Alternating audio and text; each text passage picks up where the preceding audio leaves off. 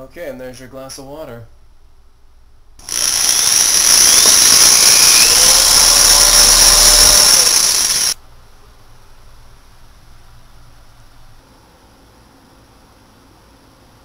This is just a quick video of a biosand filter I'm going to be making. Okay, I'm going to start with this bottle here. I'm going to cut the top off.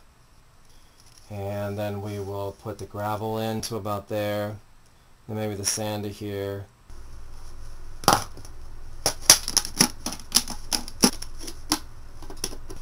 Okay.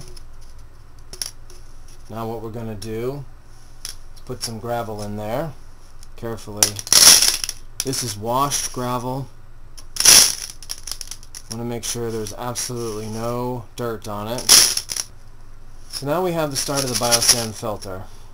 Now I'm going to go ahead and put some sand on top of that. We're going to put this at about, uh, we're going to make this about 3 inches. Pack it down just a little. Here it is. A two-layer biosand filter. I hope you can see that okay.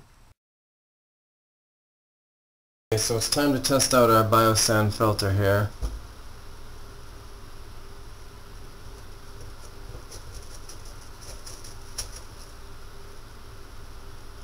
Let's do this the easy way.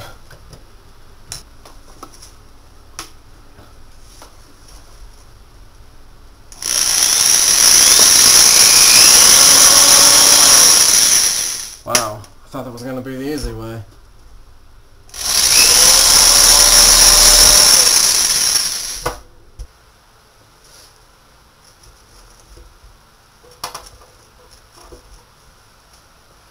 Running down a little stick that I put in there and dripping off into the glass.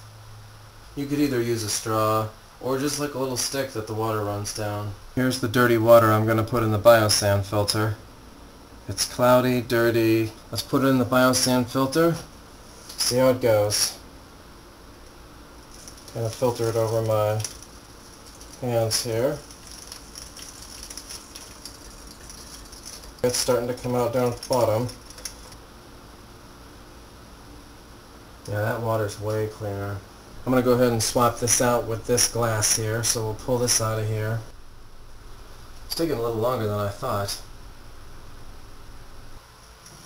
Alright. So I don't know. What do you think? That might not be perfect, but it's sure damn close. That looks a lot cleaner to me.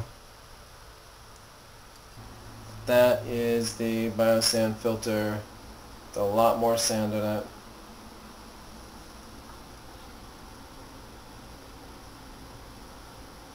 And that is the clean water.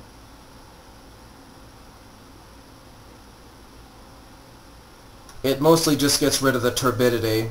So that means that the water doesn't look as cloudy. It does take care and get rid of some of the parasites and uh, bacteria, but um, only some. So you're really going to want to make sure to heat this water after you do this. So it's like a two-stage process. First, biosand filter, and then heat up the water to 150 somehow. Um, I have three videos um, that show three different ways to do that. You can use a solar box cooker.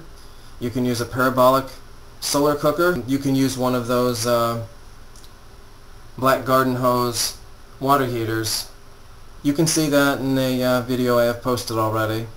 You only need to get this water to 150. When Once you get it to 150 degrees Fahrenheit, you're going to kill all living things in there. A lot of stuff actually dies at about 130, then a bunch more at 140, and basically the rest at 150. They consider water to be pasteurized at 150 degrees Fahrenheit. So there it is. That looks pretty good to me. By the way, the bottle was 75 cents. The sand I actually bought at a nursery for about $4. I live in a desert. I had to buy sand. What's up with that? So very inexpensive. Cleans the water pretty well. I won't say perfect, but it definitely cleans it pretty well. Eh, it's done. Nothing left in there.